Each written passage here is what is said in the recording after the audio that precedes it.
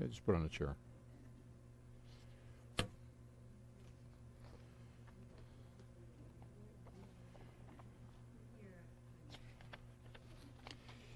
So we haven't been announcing about the uh, about the nursery, uh, but we need to because um, actually we want uh, more and more children for our nursery, and uh, we need to spread the word that that is available to people. Uh, this morning, I want to want to speak uh, uh, from the uh, from the scriptures, um, and the scriptures were inspired by the Ruach Hakodesh, the Holy Spirit. You know, Kodesh is holy, Ruach is spirit. But uh, the word ruach also means breath. So, uh, so the scriptures were breathed.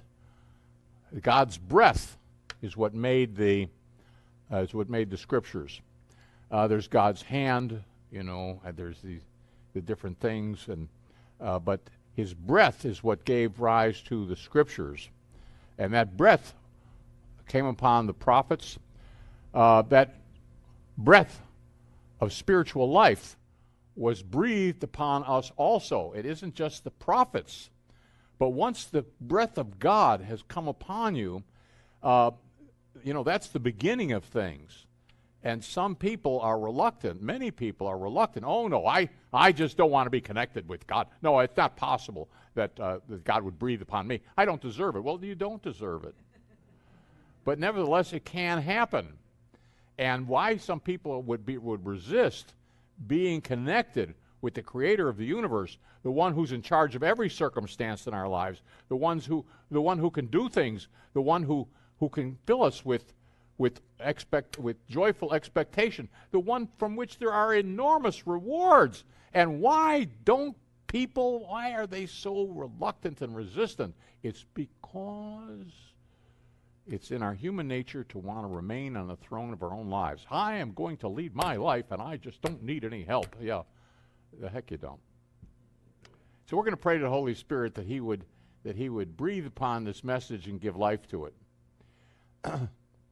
Please join me.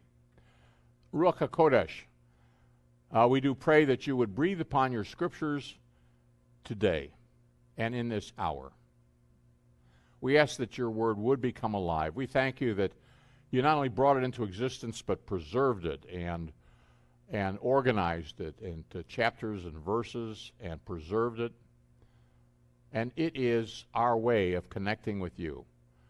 So, Lord, we just ask that it would penetrate deeply into our hearts today. In Yeshua's name, we pray that you would give this message. Amen. Okay. Today, we're going to talk about Adam. Shall we turn to the Old Testament? Not today. We're going to talk about Adam, and we're not going to talk from the Old Testament. So uh, today we're going to examine. Um, we're going to examine from the New Testament anything it has to say about Adam. Did you know? Did you know that this, that uh, uh, you know, Yeshua, Jesus, refers to himself as the Son of Man. Now, in Hebrew, that's Ben Adam, okay, Son of Man. So every time in the scriptures that Yeshua says Son of Man, he, he says Son of Man says this, Son of Man says that. In Hebrew, uh, on the streets today, and for, for thousands of years, the term Ben Adam means human being. Uh huh. Loretta's just a human being. Well, I, no, no. uh, uh, Ronnie, he's just a human being. Okay. Um, ben Adam, human being. So when Yeshua says, I'm Ben Adam, he's saying, I am Son of Man. He's also saying, I am the son of Adam. Adam, Adam. Son of man, human being, son of Adam, all the same thing, all in the original Hebrew of Ben Adam. Did you know that in the book of Matthew, that Yeshua refers to himself as Ben Adam 27 times. I mean, he really wants us to know that he is the son of Adam and that he is a human being. He is not an apparition. He is not part of people's imagination. He's just not some peculiar God figure walking around. He is a human being. He's also God, but he's fully a human being. 27 times. That's a lot. Not once or twice, 27 times. He's emphasizing that he's just he's a human being, totally a human being. Well, let's turn to uh, the book of Luke, uh, and let's find out about this uh, this Adam. What does Yeshua have to say about Adam? Luke chapter 3 and verse 38.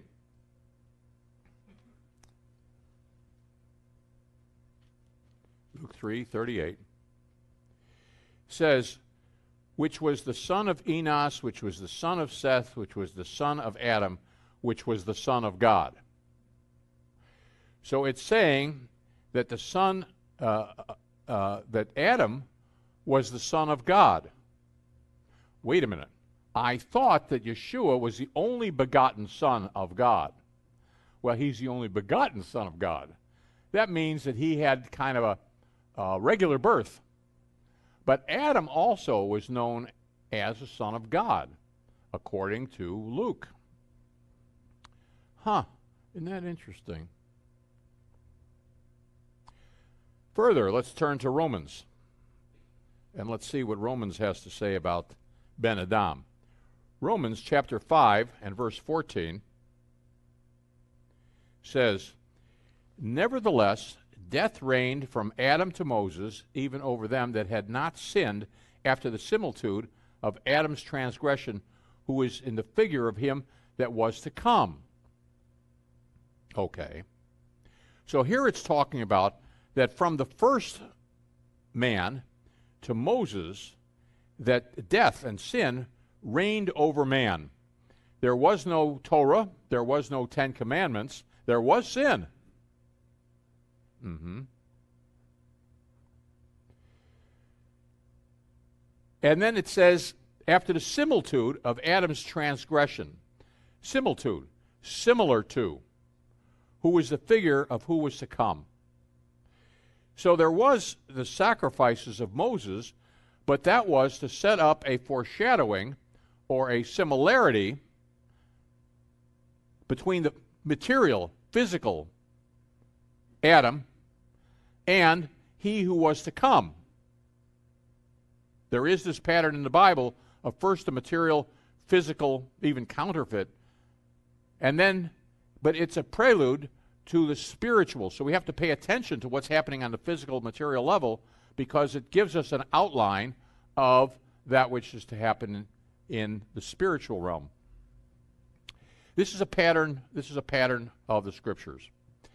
Back in uh, the good old days when there was photography, you know, we didn't have phones to take pictures. We we had a Nikon camera, and uh, we would develop it, and we would have a negative of the photograph, and this is how that is.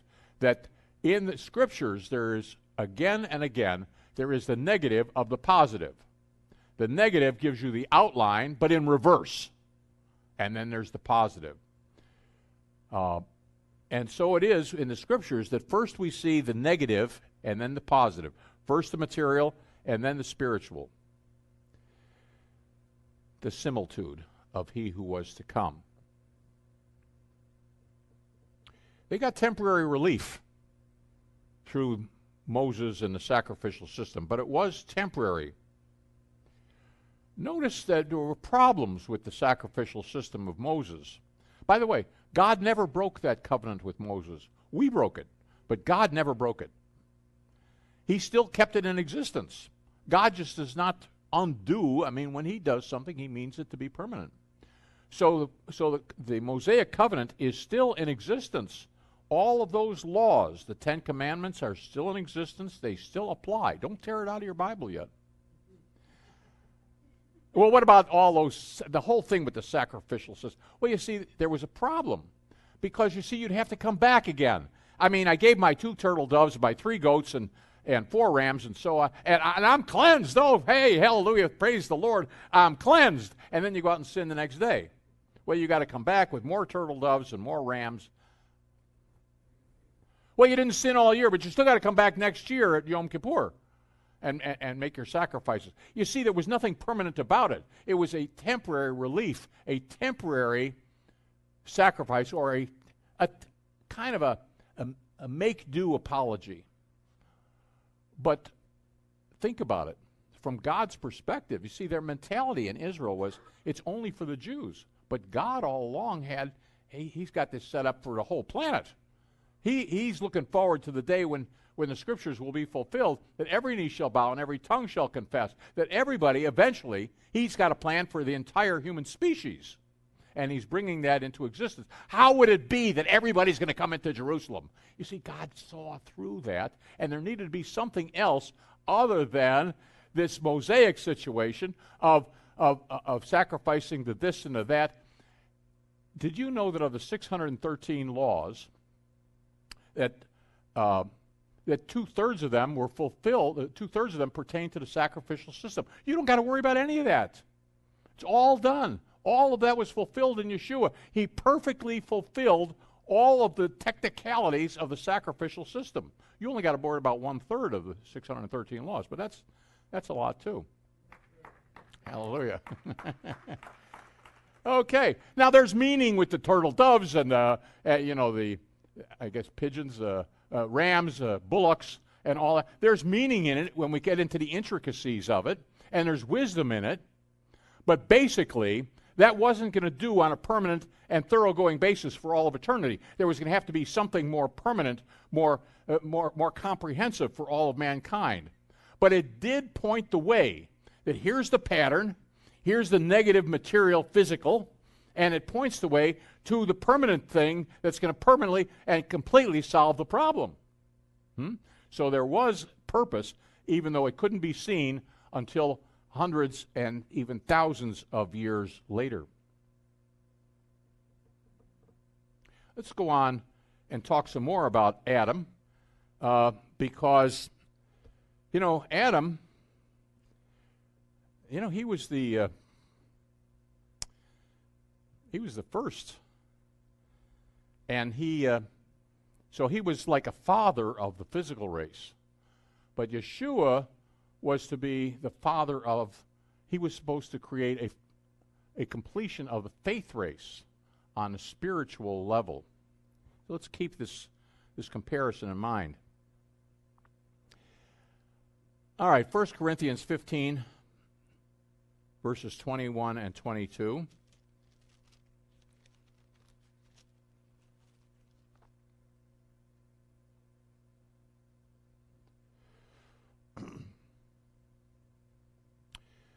For since by man came death, by man came also the resurrection of the dead. For as in Adam all die, even so in Messiah shall all be made alive. So now we're beginning to have a comparison between Ben Adam, the first Adam, and the second Adam. There's a second Adam. Yes, Yeshua refers to himself as the second Adam.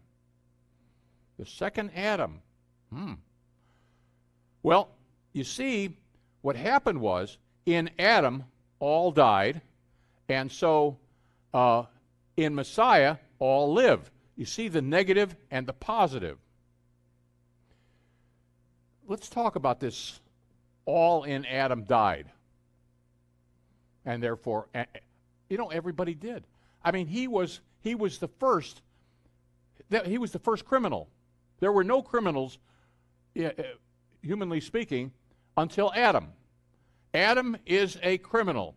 But wait a minute, the woman made him do it. but he's the head of the household. The responsibility is with him for direction and so on. Besides which, she was beguiled. She was taken in in, in naivete. That's one thing. But Adam, he already knew. He consciously did this. It wasn't that he tripped up. He made a very conscious decision. What am I going to do? My wife is no longer qualified to remain here in the Garden of Eden. Now I have a choice. And he has to look down the corridors of time and decide am I going to remain here alone in the Garden of Eden, or am I going to go with my wife outside? And so he consciously eats of the fruit of the knowledge of, uh, the, of the fruit of the tree of the knowledge of good and evil. So he was even more culpable than the woman because he didn't do it out of naivete or ignorance. He knew what the implications were. And also, as the head of the family, he bears responsibility for the decision making of the household. I guess we men have to remember that. And it's kind of awesome. I frankly try not to remember that. okay. Still in 1 Corinthians uh, 15, let's turn to verse 45. And so it is written the first man, Adam, was made a living soul. The last Adam was made a quickening spirit. So in this verse, we're seeing the two Adams.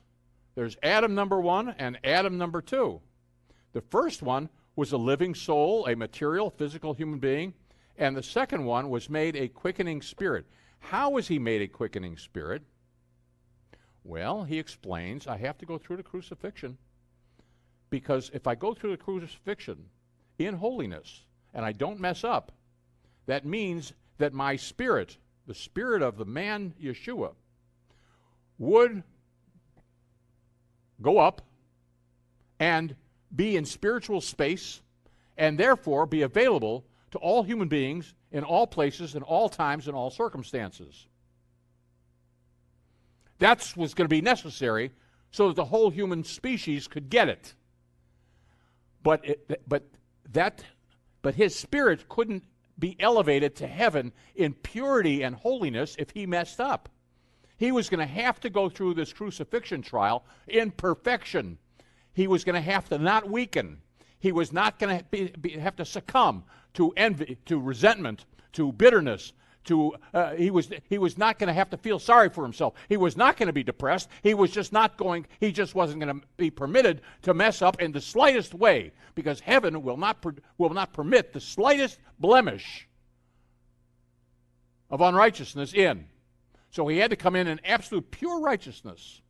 Couldn't mess up, but he did it. He went through the entire process, all a human being could reasonably take, and never gave in. There was a conflict between good and evil, hate and love. And he bested, he bested the devil. That gives him authority in, in heaven over the negative spiritual forces of the universe. So he graduated, one of our guys, one of the human beings, one of the Ben Adam, made it into heavenly places in righteousness because he never sinned and and, and, but he had to go through this crucifixion in order to qualify not only for heaven but that his spirit would be available to all of us. And he did it. It's amazing. It's amazing that he did it. And he knew the stakes for everybody that we should benefit. Oh. 1 Timothy 2:13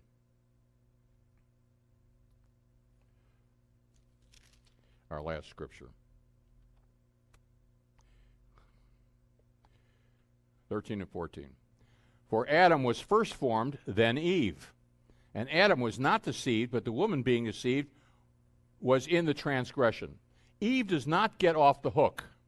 Eve also is culpable. Now, not as culpable as, as Adam, but she was the first. So she's in on it also. So both man and woman, uh, you know, did not, no longer qualified for heaven. But God had a plan for the human species.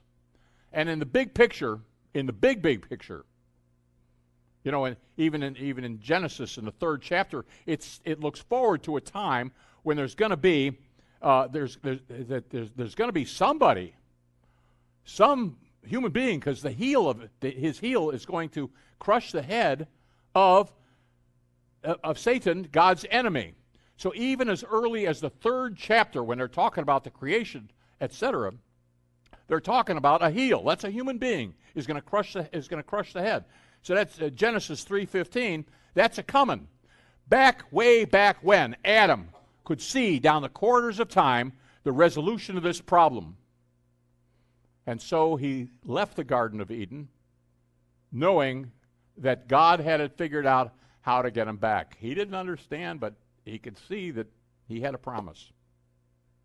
Now we have now we have the first Adam and the second Adam. From the first Adam, sin came. Not only to Adam and Eve, but now they're cast out, now they're cast out of the garden. And how will they provide for themselves? Well, the man is going to have to work by the sweat of his brow. Uh huh. I hope these crops grow. I hope I come upon an animal and it, I can kill it and it doesn't kill me. Uh, I, I, hope this is all going to work out. Uh, is there going to be is there going to be uh, soil? Is there going to be good? Soil? Do I can I get enough seeds? Uh, it, it, so, there's all kinds of anxieties about this. Am I going to make it? I'm no longer in the Garden of Eden. I'm not going to be provided for? After all, I committed a crime. I betrayed God. I didn't believe Him. And now where do I stand with God? Oh my goodness, am I going to? Is everything going to be all right? The woman says, "Oh, Adam, you know, I, am distressed. We're not, we're not in the garden, and you know, I, I mean, I know you're great and you're powerful, and I really admire you, and so on. But I, I'm, I'm concerned that the rug's going to be pulled out from under me. I don't even know that you're going to survive. Oh, my goodness. If you don't survive, how am I going to survive? And, and what about these crops? And, and, and so she has a great insecurity about where she stands with God. The man has an anxiety problem of can I perform it? And the woman has, has the apprehension of insecurity. Am I going to, is the rug going to be pulled out from under me? And so what they so what they did in their distress was they decided I have to get control over my situation. I, I, I have to bear down and gain control over. And how will I do it? And so they began to resort, they began to resort to their intellect. How can I do it? I can calculate, I can, uh, I can dissect my thoughts, and I can figure a way, and uh, I, I, can do this and I can do that to assuage my sense of anxiety and insecurity.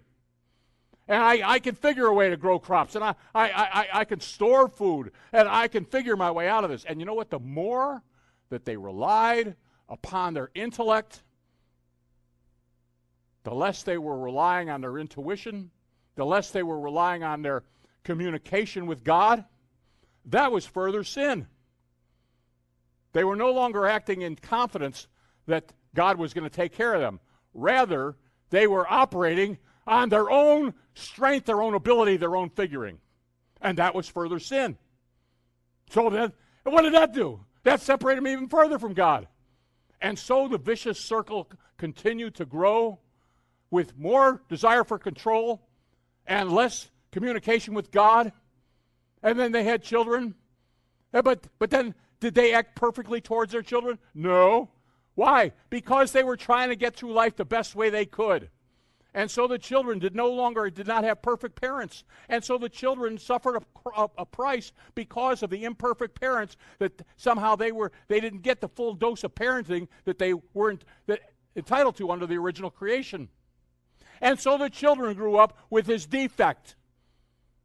And so the crime of the parents was visited upon the children. And what happened to those children? They had children. Same deal going on.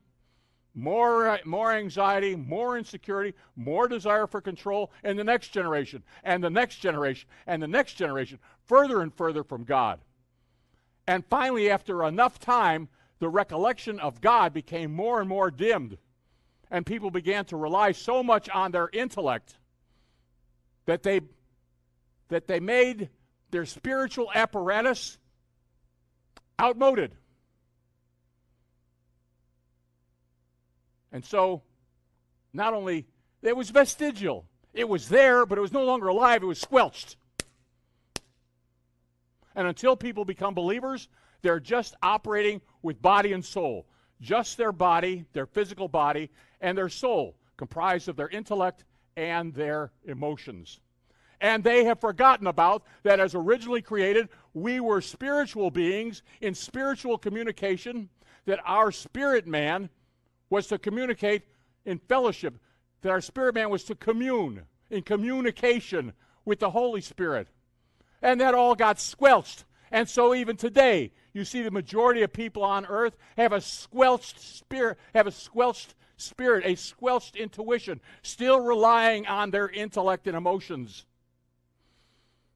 But God gave us reason to see to it that it was wise and good and provable, that there were reasons, if we'll pay attention, to begin to go back, to take back that ground, and to once again claim what is ours. It, it, that, that, if, that if we will follow God's instruction, we can regain this capacity of being a spiritual man connected and communicating with the Holy Spirit and getting our sense of direction from the Holy Spirit. And that He will provide for us, and, and inch by inch, step by step, to become more like the original Adam and Eve, reliant upon our spirit for our communication and our direction and our provision. And that's underway. It's well underway. Are there a billion of the 7.3 billion people on the face here? Are there a billion believers who are reconnected, who are born again? Maybe. Maybe it's in the hundreds of millions, but it's clearly up there and it's growing. On its way to the day when all human beings will be back in the situation of Adam and Eve. It's a coming. It is coming. And we're we're part of it. Are we the first fruits? Maybe not. Are we the second fruits? Yes, we are. But we're fruits of the Holy Spirit. now, let's say that that's a perfect model, that God foretold it. God gave us indications along. Be encouraged. The solution's coming. I've got somebody coming. Going to be a special human being in a special situation. I'm going to give you a clue. Could be born of a virgin. I, I got another clue. He's uh, born in Bethlehem. Born in Beth, Beth, Bethlehem. Yeah, right. Yeah, oh yeah. You'll know him because he's, he's going to be riding into Jerusalem on on the foal of a, uh, a baby donkey. Yeah, yeah. You can get it. Uh, but uh, I, I'm telling my prophets, and you can read about it. But basically, I'm just giving you clues for those who have ears to hear, those who are willing to believe, those who are willing to take a chance. I'm going to, uh, yeah. And he's going to die for the sins of other people. Hmm. Yeah. That's something. That's a big clue. Going to die for the sins of other people. More about comparison of the first Adam and the second Adam. They're very closely related. Back to our negative before the positive of the photograph. Let us see that which we have probably considered previously. Let's go over it again. First of all, both of them were of immaculate conception. Hmm? Adam did not go through the regular childbirth. Huh? I mean, he was you know, that was a special birth. And same thing with Yeshua. According to Isaiah 7:14, there was one of those clues, going to be born of a virgin. So they're alike in that regard, both the first Adam and the second Adam. Consider again the negative outline of the positive. Yeshua is hanging there on a cross, and and and and, and, and a soldier throws a spear into his side. You know, it, you remember that that a rib came out of Adam's side. Huh? Now, something like a rib got thrown back into his side. It's there's a there's a similitude, a similarity to this. A reversal, a reversal of a process. yeah, Eve was born of a uh, Eve was born of, of, of a rib, and could it be that somehow a rib is being thrown back in? How about a crown? How about a crown? Uh, Adam was uh, in charge of all of creation, could name the animals, understood great wisdom about the plant life, that every plant had a purpose. he was in charge of everything. He had absolute dominion over every single thing on face of the earth, given total dominion. He wore a crown. He had a spiritual crown. But what happened was he gave up his crown. Now the crown is being put back on, but it's a crown of thorns. Thorns that big. as we read last week. Yeah, so they're similar in this crown business. Well, let me see. The fruit of the tree of life, the knowledge of good and evil, was taken from the tree in disobedience. Well, yes, there, there too there's a similarity. Because there's the fruit of the knowledge of right and wrong. There is a rightness in things and a wrongness in things. And here there was an obedience, the opposite of the disobedience. I'm gonna I I I took illegally, I took the fruit off the tree. I'm gonna put the fruit of my life back on the tree. And so there's a prophecy that whoever is going to be the solution to this problem, that fruit of his life is going back on the tree. All right, we got we got the tree business. That's that's somewhat similar. And then there's the thing of God breathed life into Adam. So it is that the Ruach HaKodesh is the breath of God that visits with us. And so there is the breath of life operative in both situations, both for the first Adam and for the second Adam. Notice how, in the case of the first Adam, we drifted further and further away. And so each generation got worse and worse off. Each one waxed worse and worse. But in Yeshua, and, and, it was it was like from one generation to the next, what would happen is is I would get I'm, I'm in the fourth generation or the 14th generation, but I'm frustrated things are not working out and, and i'm trying to control and i'm unable to control my circumstance and it's very frustrating and he's against me and she's doing me dirt and they're talking about me and i can't get it done. And out of my frustration i do things that are mean or certainly i'm not proud of them. I'm frustrated. It's like the guy who comes home from work and kicks the dog right? In some cases kicks the wife but it's out of frustration an inability to get things done. Things are not going my way. And so that becomes, that accentuates the sin, rolls us further down in separation from God, waxing worse and worse from generation to generation. And that was, that was the trajectory of things down, down, down for thousands of years. Now Yeshua comes along and changes the, dire- changes the trajectory. And now things begin inch by inch. It didn't happen. The sin waxed worse and worse over. Uh, it was, uh, uh, it was uh, over a long period of time. But now here, the trajectory's changed, and it's going from righteousness multiplied upon righteousness, and the road back, we're reclaiming that land. We're reclaiming the righteousness, inch by inch, day by day, month by month. Just like the downward trajectory happened over thousands of years, the upward climb of more and more of the human species being in fellowship with God. How did that happen? Well, one person in the first the downward trajectory, one person caused another generation, one person caused another gener- another person to sin.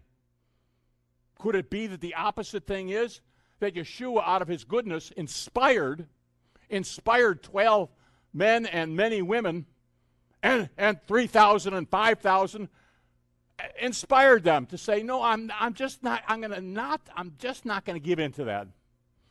He did something for me, and I appreciate it. And so, that gave them the capacity to not fall prey to every desire to sin. I guess I guess I, am appreciative of God, so I'm just not going to do it. And so sometimes we're able to catch ourselves and not do so because Yeshua is in our lives. That's upward trajectory that the human beings are going towards. We don't perfect it at all times, but nevertheless, it's a direction that mankind is very slowly, according to God's timetable, happening.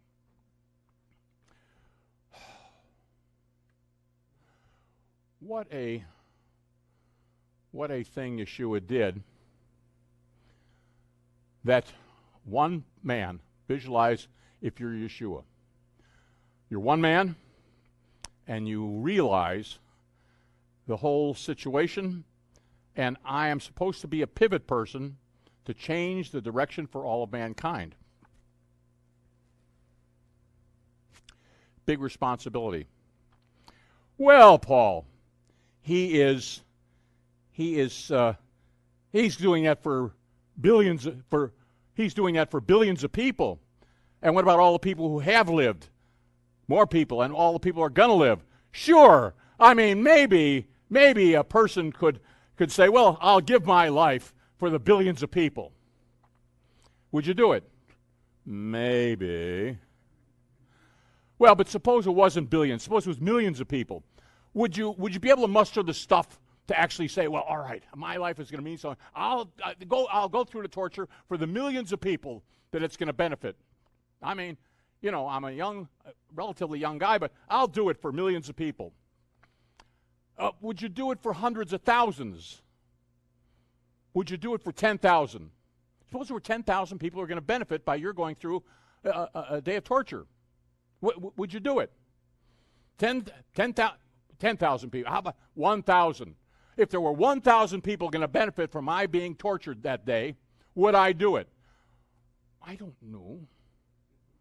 Maybe yes, and maybe no. What if it was 100? Probably not. And what if it's less than 100? I think I wouldn't be able to muster the stuff, and neither would anybody else. It's just too big a sacrifice on behalf of somebody else. But suppose it was that Yeshua's sacrifice was just for me and my brothers. I got three, I had three younger brothers. Suppose that sacrifice was just made for the four of us. How, would I be appreciative? Would I be appreciative of the look at what he did? Look at look at what he did. Suppose my father, suppose my father saw that his children were going to be, you know, would he sacrifice? You know, he he probably would. What parent is not willing to sacrifice themselves for their children? Every parent, I think every parent, just about every parent I've ever met, would be willing to sacrifice for their children. Take me, Lord, not my four children. If I have one child, not for my one child, take me. Every parent, virtually every parent, would say, Take me instead. So whether it's one or four or a hundred, it doesn't make any difference. Just because it would be the four of us or the one of me doesn't mean that it wouldn't have been important, that it wouldn't have been effective, and that I wouldn't be appreciative. So, the fact that there's four, a hundred, ten thousand, a million, and so on, doesn't make it less effective. Doesn't mean that little old me and little old you shouldn't say, wow, he did that for me and others. But he was willing to do it for me alone. That's a big deal. That he was willing to do it for me alone. And he did. Each and every one of us. If it was just the one of us, he would be willing to do it. And he did do it for each of the one of us. Now, we are in a circumstance still concerned about anxiety and insecurity and the need to control our lives. And we're still in the mess. We're still in it, still doing the same thing, still in the struggle between our intellect and our spirit, our, our, our spirit man, our intuition and we're still in that same fix. And, and what to do about it? Well, we can read the scriptures. But basically, basically, it has to do with feeling loved by the Father. When we read the scriptures, that's what we're getting, is we're feeling, we're reading the stories and recognizing that God does love us and He is capable. So it is that we feel God's love. That's the reason for the sin. It's universal. The reason for the sin is we're not feeling loved. We got some woman or some man who's going off into adultery, they're not feeling loved. Maybe not feeling loved by their spouse, maybe not feeling loved. Maybe they grew up in parents and they didn't feel love there. Maybe they don't know God and they don't feel loved by God either because they don't know God. But there's a lack of feeling loved. Love casts out fear. If we would feel loved, we wouldn't sin. That's the key to avoiding sin is to feel loved. If all the time that I'm tempted, if I would focus on what he did for me and others, I would feel loved. I would really concentrate and say, wow, what a deal. What he went through. I can just imagine. And, and I was important enough. I was important enough that he did that for me. I would feel loved. I would feel less inclined to sin. And that was part of the crucifixion also, was to go through it and to record it in detail so that each of us could bring it to mind and recognize that he did love us and still loves us and is still involved with us. So it is that we have the opportunity to avoid sin by going back in recollection through the scriptures that and reminding ourselves that we are loved. That's that's why we pray. That's why we ask for miracles. We're wanting to feel that God loves us. And, and basically, it's on an unconscious level. The unconscious, the spiritual, same thing in different languages. So basically, look at how much this lack of love is motivating everything. Huh? You gamble, or like I do, you do the stock market. But it's the same thing. Hey, I, does God love me today? Can I, can I win some more? Am I one of the beneficiaries? Am I one of the losers? Am, am I one of the winners, or am I one of the losers?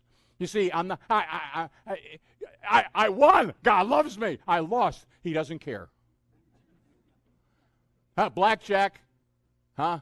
Uh, uh, uh, throwing dice. It really is in a moment. Does God love me or dislike me? Or isn't he paying any attention? The stakes are, are the same. You're in business life, and boy, I got the big order. God loves me. I lost it. I lost the client. God doesn't care. God's not paying attention. You see how much of our motivation has to do with our awareness of whether God loves me or not. Hmm. And maybe I'm not alone. I think we're all in the same fix. We're all hoping for some evidences that God loves us. So we read the scriptures and we remind ourselves of God's love, that He did have a plan, that He does have prophecies, that He does have prophecies about a Messiah. And the proof of the pudding is Israel that is coming back to life in an impossible set of odds. But he's come back, and Israel's come back after thousands of years, and we have every reason to believe that the rest of the scriptures are going to be fulfilled, and those prophecies and their fulfillment is encouragement that every promise given to us is going to be fulfilled, and perfectly. So we're encouraged because we feel loved. God does care. He does have a plan. And if it's taking a few thousand years to materialize, so what? I can, I can rest in my confidence that if He can bring all that to pass against all odds, He still cares for me. And though, it, though, though He tarry, it's still coming. He's still doing it for me. He's still, uh, I am encouraged by reading the Scriptures.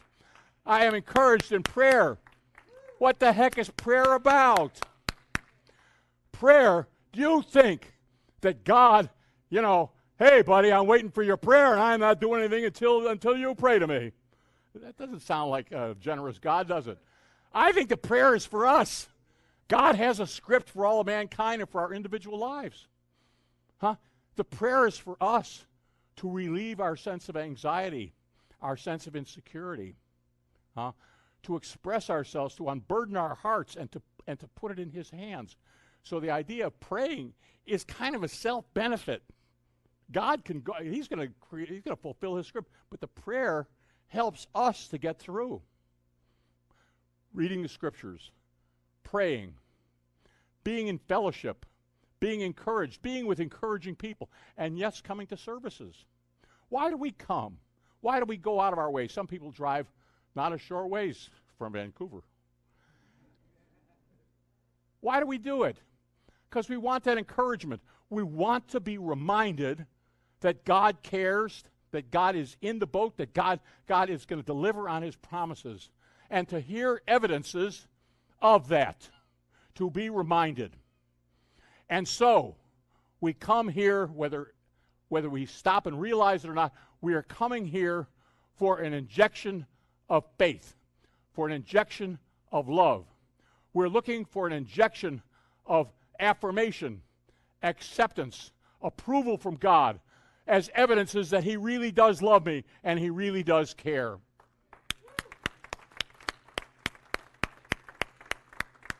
So, the assignment of this congregation and others is to give people their fix because we because we are it is the opiate of the masses and we do need a fix and we do have bible studies and we do have prayer meetings and because we need regular injections where there can never be enough of god's approval of god's affirmation of god's acceptance and that's why we try in every way to shovel more at people of approval, acceptance, and affirmation.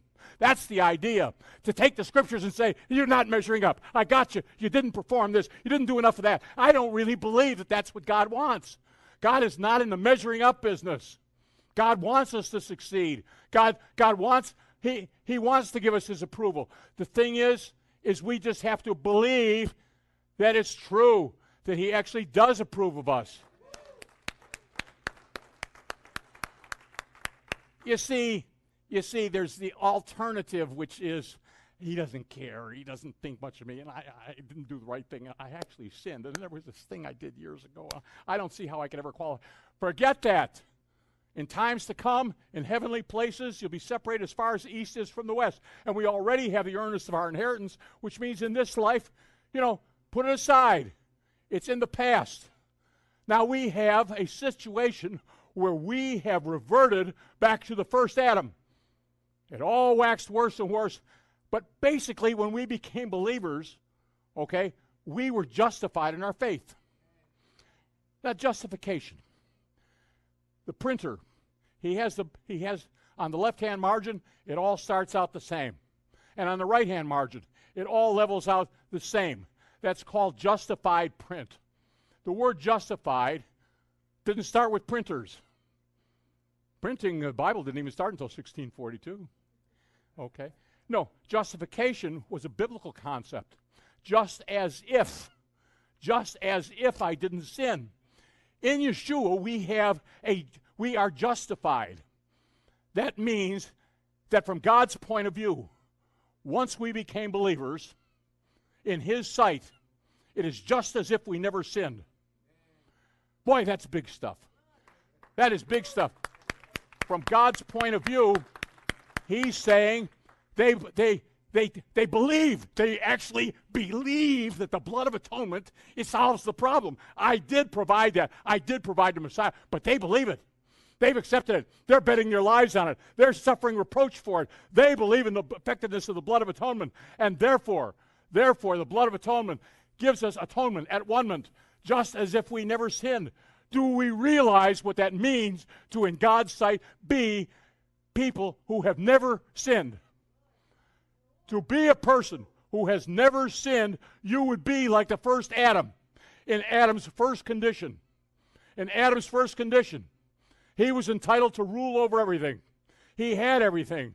There was no anxiety, there was no apprehension, there was no insecurity. He had not sinned.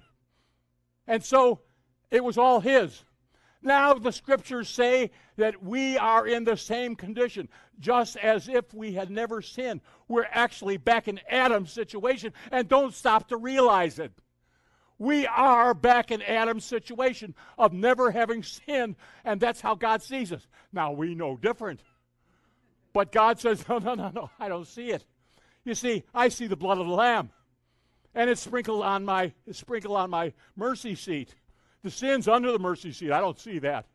From God's point of view, He looks at us as people who have never sinned and therefore are entitled to everything that Adam had.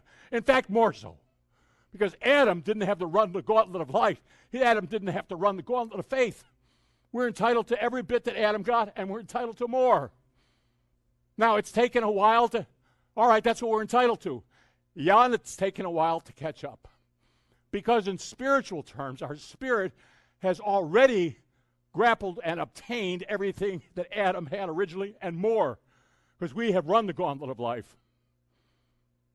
The physical level, the mental level, it's on its way.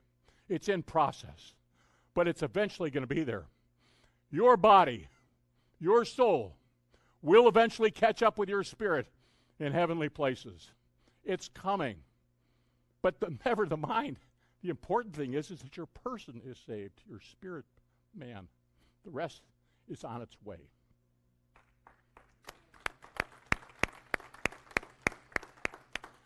All right.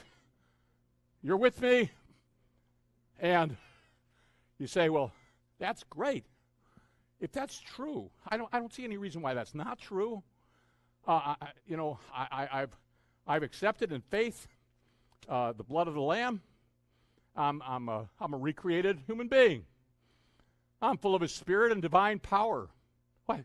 The, the scriptures say that I have love, joy, peace, patience, goodness, kindness, meekness, temperance, and faith. You see, I'm God's property. You're God's property. We actually are entitled to what Adam had. We're entitled to not have sin. We're entitled to not have disease. We're, not, we're, we're entitled to not have poverty. All of these things we're entitled to because we have everything that Adam had, just as if we had never sinned. If I've never sinned, there's no reason why I shouldn't have joy uh, eternal and why I shouldn't have blessing after blessing after blessing after blessing. And we are getting those blessings. It's just taking a while to catch up. In the meanwhile, we have an opportunity through the distress to glorify God. So we're acting on God's truth to meet all of our needs and we are counting on Him to give us superabundantly beyond all we can ask or think. You know, I can do all things in Messiah who strengthens me. So if I'm entitled to all these things, I, I do feel loved. And if it's taking a while for all the rest of it to catch up with my spirit man, okay. Well, Paul, but you talk a lot about uh, consequences. If I sin, bad things will happen. First, you know, but what about if I'm faithful and just? God is faithful and just to forgive us our sins and cleanse us of all righteousness. The main deal is your body's a temporary thing. The main thing is your spirit person that communes with the Holy Spirit and keep that channel open. If I confess my sins, I keep the channel open. When the channel's open, not only for communication but for blessing, that's it. So we're part of a great cosmic plan. It's taken thousands of years so far. It's not completed. But we're slugging it out. We're slugging it out. But it's comforting to know where the end of it is. And that, that it all will be performed, and we're a beneficiary. Just as if we never sinned. We are like the second Adam and the first Adam we're entitled to all of God's blessing, and it's either here now or on its way. Hallelujah.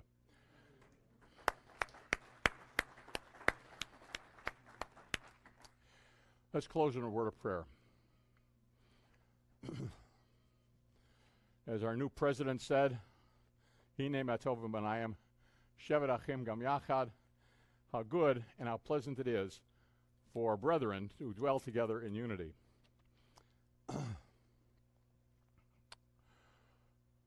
Oh, Father, we do thank you. Oh, Yeshua, we do thank you. Oh, Ruach HaKodesh, we thank you. That you have had a plan that has been unfolding for thousands of years, and we're part of it. We thank you that you saw enough in us, in our willingness to throw in with you, that you were to treat us with every is entitled to every blessing that Adam had and more. We're grateful. Help us to remember that that's how you see us and that you do love us and that your sacrifice would have been made if we were the only person we just appreciate. And that's why we depend upon you and call upon you and make you the center of our lives. We'll praise you in Yeshua's name. Amen. Amen. Jerry Cohen, why don't you come forward? We're all going to sing a traditional melody at the end of uh, synagogue services, Adon don't alum.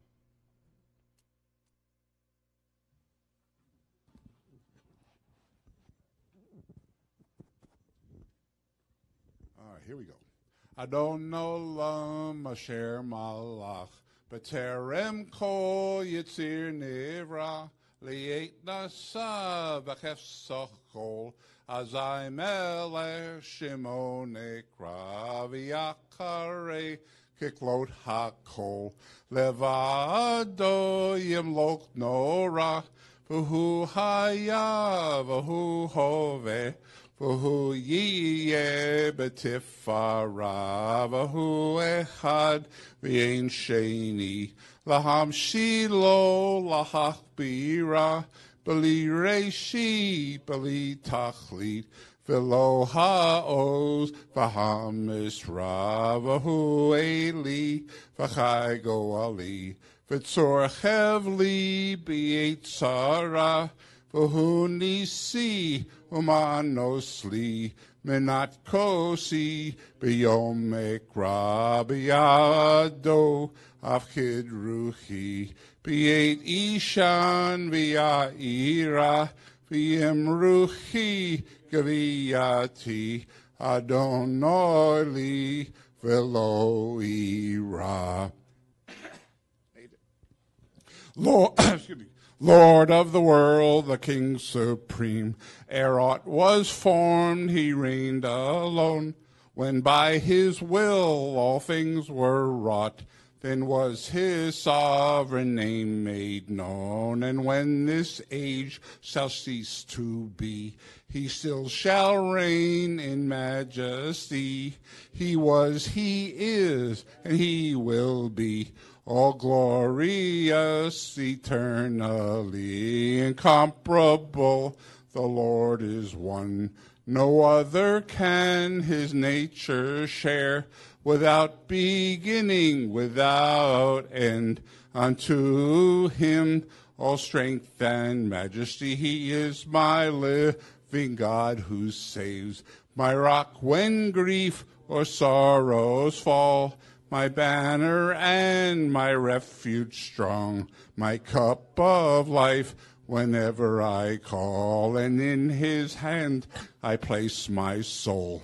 Asleep, awake, for he is near, and with my soul and body too. God is with me, there is no fear. Shabbat Shalom, everyone.